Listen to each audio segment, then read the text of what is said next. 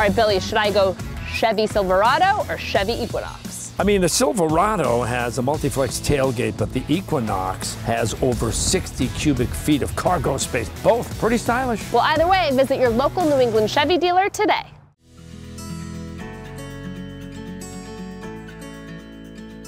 Hi, I'm Shi Mei. I'm the chef owner here at Lenox Sophia Restaurant in South Boston. Welcome to my restaurant. So Lenox Sophia started when I first moved back from Texas. I always wanted to open a restaurant, so I started doing some pop-ups here in my home. And then as the amount of people started coming through, someone said to me, hey, this is this idea of eating in your home is kind of cool.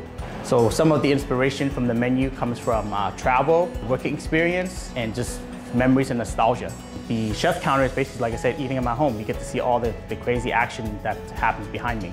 The tasting menu here rotates seasonally. Being in New England, the season kind of starts slow, sometimes comes quick, so it all really depends on the whim of nature. Some of the crowd favorites here at Lenox Sophia are the, uh, the beet course, a pea custard that we serve as well, and this silvery thing behind me, the duck press. So the duck press is an item that started back in the 19th century in France. So what we do here is we carve up the entire duck, we put it in the contraption, and we press the item to get the juice out to make a sauce. And then we do a full dinner with that as well. So for the beet course, we slow roast them at about 300 degrees, and then that gets served up like a beef tartare, and gets served with a little couple pieces of chip and um, dill and frozen feta.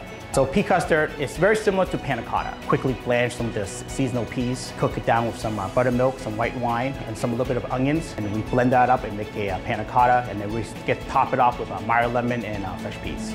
So we also offer another item on the menu called the chickpea panisse. That is a full-on vegan, nut-free item. So we make a chickpea uh, garbanzo bean uh, custard, and then we deep fry it, and then we serve it with uh, pumpkin seed romesco and dressed with uh, zucchinis.